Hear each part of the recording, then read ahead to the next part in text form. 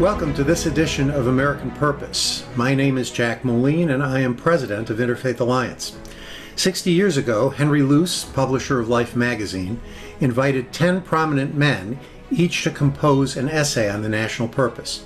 Then, as now, there was a sense that we stood at the beginning of a time of cultural and political change. Our project expands on this work as each episode explores one perspective of where our nation was, where it is, and where it should be heading with a contemporary thought leader. My guests are from the world of faith, government, politics, and culture, and they have generously agreed to share this time with us. You can find out more about Interfaith Alliance and our mission to protect your faith and freedom by visiting uh, interfaithalliance.org and by listening to our radio program and podcast, State of Belief, at stateofbelief.com. But right now, let's find out more about the American Purpose with my guest, Maggie Siddiqi. Maggie is the Senior Director of Faith and Progressive Policy Initiative at the Center for American Progress. Her role is focused uh, on advancing a progressive vision of faith and religious liberty and engaging a network of faith leaders. She is a uh, certified uh, Islamic chaplain uh, from Hartford Seminary and has experience working at the Georgetown University Hospital. And uh, Maggie, I know you are proficient in both Spanish and German, and I can assure you you will not have to use either one in this conversation. So, welcome. Thank you so much for having me. Maggie, we're just going to get right to the questions. In your opinion, what was the original national purpose of the United States? It's a small question.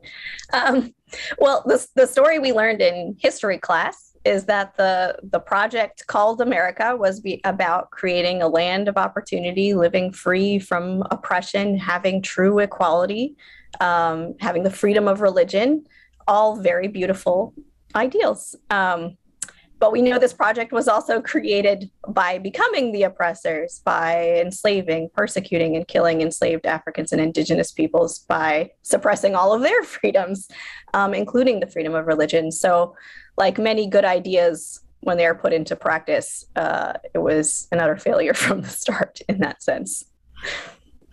Uh, so, uh, I, I, just want to clarify. Mm-hmm. You're not suggesting that it was the purpose of the United States to uh, to uh, kill uh, Africans no. and indigenous people, but that the purpose devolved into that in yes. pursuit of its own justification. Exactly. So, but, like exactly like all good good ideas when put into practice, uh, falling very very short of those ideals. Yeah, absolutely. And what do you believe is or ought to be the American purpose going forward? Um, well, in, in many ways, the same. Uh, as flawed as our ability to live out our national purpose has been, those are the same kind of ideals that I hope we can put into reality moving forward. Um, as individuals, our life, our lives in this world are nothing if not an act of constant striving toward a kind of perfection we know we can never quite achieve. Um, the saints among us get quite close to that perfection. I think as individuals, we often strive toward that saintliness. And similarly, I think as a collective, as a nation, we ought to strive uh, to the most perfect version of those ideals that we hold dear, even if and when we constantly fall short. Um, those ideals being that of, of equality and freedom of oppression and all of that that I just mentioned. Do you think it's possible? Uh, I, I, um, yes, I mean, I think uh, to quote um, Ustad Evans, uh, who's with the American Learning Institute of Muslims, um, he's, he said about the distinction between hope and optimism. I don't have any optimism. A serious read of our history and a serious assessment of our current reality does not lend itself to optimism, but I am a faithful, hopeful person. Um, and so, similarly, I think as a as a um, a person of faith. I have to believe, um, I have to have faith that a better version of ourselves is possible, that it is worth it to keep striving, that we can actually get there. Um, I think a serious read of history makes me question that and feel a little bit less optimistic about that. Um, but I, I, I have to believe that that's possible. I have to be able to, to envision that world that I'm striving toward and, and work toward that every day. Hope is an occupational hazard for people of faith. Absolutely.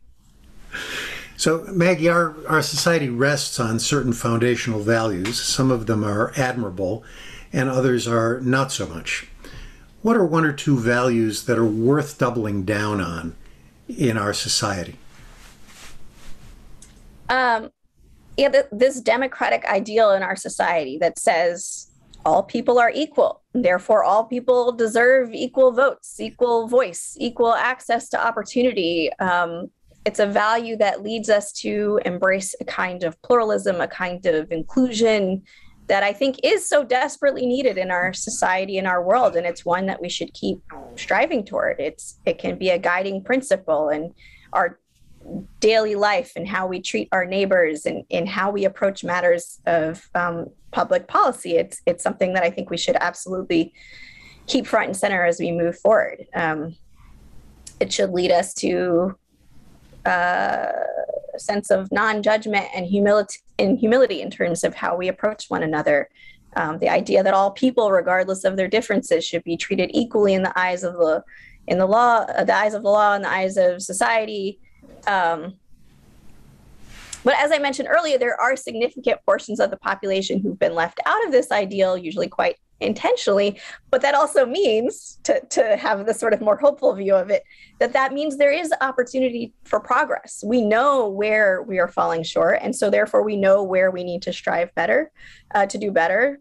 There's, um, uh, for example, um, amongst the communities that have been historically left out, um, I'm going to quote somebody else again, Pastor Traci Blackmon, Um, you know, noted that the framing of democracy for this nation was not conceived in anything other than whiteness. That Black people have always had to to make a way out of whatever they were given in this country, um, and therefore that we should listen to, to to Black Americans moving forward. And I thought that that was really powerful when she shared that because it was sort of noting a historical expertise that has been built up over centuries of a people who have been striving toward an ideal that they were not conceived as being a part of. Um, and so by by listening to them and their expertise, we can find ways to progress moving forward. Um, we can really double down on that value of of equality and inclusion and find ways to make our democracy better as a result. Um, if we shift kind of who's at the center of that conversation. In in that framing of America, um, there are people who have aspired to that whiteness, um, some of whom have had fewer immutable obstacles than the uh, African American, the black community. My own community, for example, has aspired to whiteness, and in in large measure, the Jewish community has succeeded in identifying uh, and promoting that ideal. Um, that's, I think, neither here nor there in terms of, of an objective description, but it does uh, sort of prove the point you're trying to make here that that that's the path to success in America, or at least it has been to this point. Um, uh, which brings me to the question about one or two of the foundational values that you think hold us back from making our necessary progress. I think the um, notion of freedom is one that we wrestle with a lot in this country. Um, it's certainly something that has come up in the context of the pandemic, but many other issues as well. What does it mean to be free? Um, and I, I think if if wrongly applied, we can very much misinterpret what the purpose of that freedom is uh, in terms of the purpose of America. Um, this is uh, hopefully my last quote. Sorry to keep quoting people, but they're just amazing. They're not here, and and they can't stop you. Who we in, we interviewed them for a, a report called the Pro Democracy Faith Movement, and they shared, I think, such real, really powerful insights that are relevant to this conversation. Um, Reverend Marlin Lavanhar, I maybe mispronouncing his name, from Tulsa. Um, a friend of mine, by the way, who's oh, also really? he's a Chicago Cubs fan. But go ahead. uh, I won't hold it against him, I guess. Um, he said there that he he sees you know this kind of like two two types of freedom right? One is the don't tread on me type of freedom um, that's highly individualistic. It's about what are my needs and no one else's.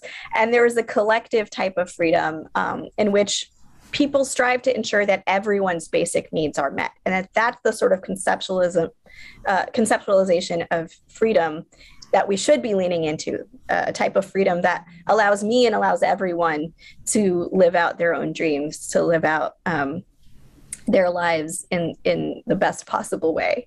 Um, but yeah, I think that sort of, as many of us in the society have sort of taken that freedom in that don't tread on me direction. That's all about me, regardless of the impact on others. And if we keep going down that road, we're going to be in some real serious trouble. We already kind of are. A sort of hyper individualism is what you're talking about. Absolutely. Yep.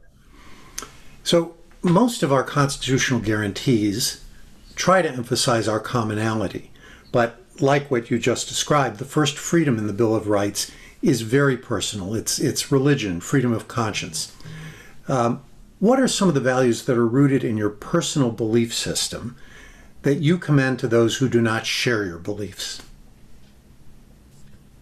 So I think in many ways, um, what I shared so far already contains many of those values. It is very uh, hard uh, uh, to extract our um, faith beliefs from the other values that we hold dear. Um, that's a really that's important point I want to say. Uh, you know, I, have asked a lot of people this question, and uh, you're the first one to note, I think correctly, that they're not necessarily separable. But please go ahead.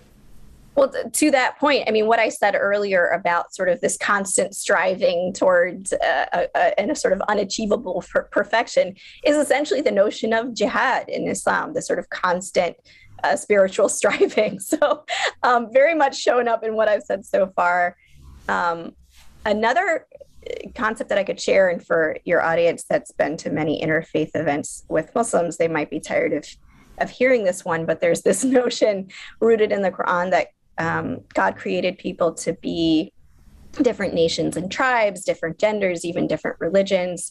Um, and I think this idea that there's this great cosmic intentionality about the differences that exist among us is just a really beautiful idea that at least for me helps me kind of let go of who's right who's wrong who's better who's worse instead to really uh, center this notion of an ultimate truth that wholly transcends the way that we assess one another um, as individuals.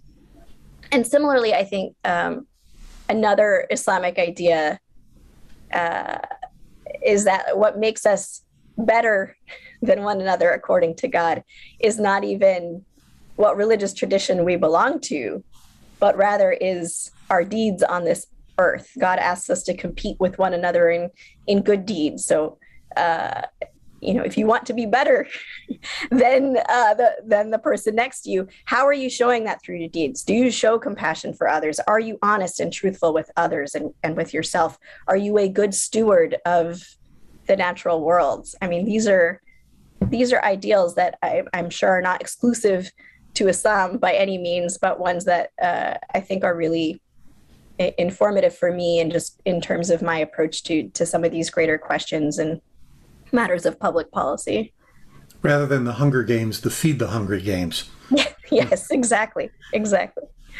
Uh, you know, it's it's interesting. I was listening to your answer to this and and thinking about what you just said about hyper individualism pluralism in our society uh, often depends on uh, on these variety of opinions. In fact, uh, Michael Walzer, who I'm sure you're familiar with, if you can quote somebody, so can I. Uh, Michael Walzer says that liberal democracy is dependent on our various identities. That we we can't we can't all pull together in the same direction, or there's none of the tension that creates uh, the the necessary progress for democracy. How do you how do you make that distinction between the the undesirability of being too distinctive and individualistic and the desirability of maintaining that diversity? I know this That's wasn't really... on the sheet. That's a really good question. Um, You know, it's interesting because uh, there's a comparison I think that can be made to sort of notions of individual and collective salvation. So I am a, uh, a part of a religion that believes in individual salvation. And so, by necessity, there's a sort of individualistic approach that I have to take. um, that uh, ultimately, what I believe I will be judged by is what I have done and what I believe in, not what we as a society have done and what we believe. But if I take that approach to an extreme, and in my effort to achieve individual salvation, um, damage the collective. Let's say I uh, am exclusionary of people within my own religious community and lead them uh, to lose uh, to lose their their faith, uh, to, to to drift away from the religion.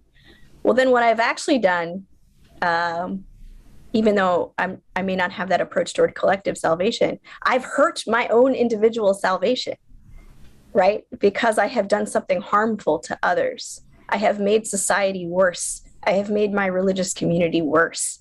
And so I think there's a there's almost a self-interested way uh, to look at the need to to to kind of um, regulate our individualism. And I think similarly in matters of public policy, if we uh, you know say take our freedoms to an extreme if we say my I, I, don't want a mask and i don't want a vaccine in the context of a deadly pandemic um, just to choose an example. Just to choose an example. We can uh, you know affect other people who then infect our loved ones who then die. There is a way that that we have to sort of um, I don't know this is exactly what you're asking here, but uh, that we need to regulate that sort of individualism in living in a diverse community um, so that we can actually benefit um, ourselves and the world around us. Good, thank you. That that's the perfect clarification. So, Maggie, how do you think our society should pursue our national purpose? How do we go about it? Well, I think a lot of what we can do as society is through, as a society, is through the um, bodies that govern us through our public policy. Um, and so uh, some of these issues I've raised already, if we're, you know, if we're intended, um, if we're intending to have a land of opportunity, then do we have an economy that works for all of us? Um, right now, I know Congress is considering a lot of different proposals around a child tax credit, around uh, paid leave, around uh, uh, tax fairness that uh, ensures that the economy is not just working for wealthy and corporation uh, and, and, corporations. Um, if our society is intended to um, uh, pursue equality as its nat- uh, national purpose, then do we have civil rights protections in place that are actually protecting everyone? Or do we need something like the Equality Act to ensure sexual orientation and gender identity are included in that? Um, are we closing gaps that exist beyond legal protections um, uh, to ensure that in this sort of lived reality that uh, all communities have equal uh, equal access to opportunity, are treated equally, um, do not have disproportionate uh, bad health outcomes uh, when they when they get sick. Um, and if we are intended to be a society that is freedom from oppression, including having the freedom of religion, then do we have uh, sufficient civil rights protections in place? Are we? What are we doing to prevent another Tree of Life uh, mass shooting kind of an incident um, against houses of worship that are at risk of white supremacist violence? Uh, what are we doing to protect tribal lands that are even now um, continuing to be taken over by corporations and having sacred lands decimated um, by uh, you know copper mining companies and and the like. Um, all all of that, right? Uh, there there it's no small feat, but there are so many public policies right now that I know are under consideration just to to help kind of align us better with that national purpose. So you're you're giving me an answer that is that is at its base, as you said, uh, government and policy is is the vehicle of this. What role does the individual play in pursuing our national purpose, assuming you're not a senator or a member of Congress?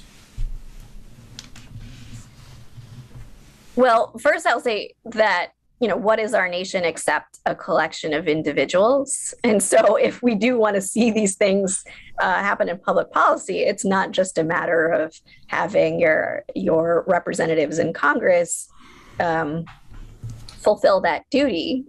You have to be the the one who chooses who's representing you in congress first of all. So um, vote. so vote. And then also um, following up with them and making sure that they are uh, doing their job and, and making sure that they're passing policies that are aligned with those ideals. So I think there's absolutely an individual role to play in public policy. And there, there is obviously, you know, as I kind of mentioned earlier, there's also an interpersonal role in terms of what it means to treat one another um, fairly and, and with compassion and with respect. But I, I do think uh, perhaps we don't place enough emphasis on the role that we as individuals have in shaping our nation's public policy. Can you can you talk just for a second about hearts and minds, how the how the individual can have an impact on that? Oh yes, uh, important point. That um, public policy is only possible when the the culture of the society supports that that policy change. Um, and so, if you do not have um, a society that supports an economy that works for all, uh, that supports there being non discrimination protections for LGBTQ people, just to pick examples of things I've mentioned already, um, then, then there's a lot as an individual that you can do as, um, as a member of, of your own communities, as a member of greater society to encourage others to see how these policies reflect those ideals that, in theory, they also share, um, and to help advocate for those things to happen. So we come to the last question now, or at least the last question of this discussion, um, that you've already sort of answered, but now I'm, I'm really putting it on the line. Are you optimistic about America's future? Yeah, as I sort of said earlier, you know, there's a difference between hope and optimism, right? Uh, as Ustad Evans said, and so, you know, I I think um, it's been it's been a long road to get to the kind of progress we've achieved so far. Um, that makes me perhaps perhaps less optimistic about the timeline that we're operating on in terms of uh, getting some things, uh, you know, put into action, some of these ideals put into action. But I think over the long run, um, as a person of faith, I am hopeful. I have to be, um, or I, or rather, I, I sort of am by definition someone who is constantly envisioning what the world could be and striving toward that. And when you can envision what that world could be, it makes it uh, feel achievable. It makes it something visible that you can strive toward. Um, and so I am hopeful about America's future. I do think that we have the ingredients there. We've come this far. Um, we can keep going. We'll get there one day, inshallah. Inshallah, and it's a it's a great position to be in when you work for an organization named the Center for American Progress. Speaking of which, if people would like to know more about uh, CAP, about the Center for American Progress, and your work there, how can they find out about it? Sure, you can go to AmericanProgress.org. Um, we have an issue specific page that is about our work on religion and religious freedom and the role of faith communities in advocacy. Um, and you can also follow that work on Twitter at CAP Faith. C A P F A I T H. Correct. No spaces. Great. Thank you to our listeners for engaging with us in exploring the American purpose. It's been an honor and a pleasure to spend this time with Maggie Siddiqi, who has shared her perspective so generously. You can listen to this and other episodes at AmericanPurpose.org and learn more about our work at stateofbelief.com and interfaithalliance.org. Interfaith Alliance has produced this program under the guidance of Ray Kirstein. I am Jack Moline, encouraging you to live with purpose.